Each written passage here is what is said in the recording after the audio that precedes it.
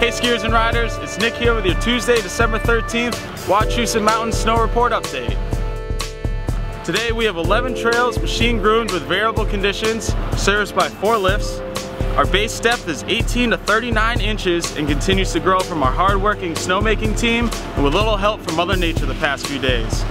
Hitchcock has a few rails set up, which is perfect to shake off the rust and get ready for our full terrain park coming soon. Join us tonight in the Maple Room from 5 to 8 p.m. for a night featuring local vendors here to help you knock off some items from your holiday shopping list. The Black Diamond will be serving up food specials and the bar will be open too. Mountainside Ski and Ride is giving out free early season lift tickets to those who spend $100 or more in the store.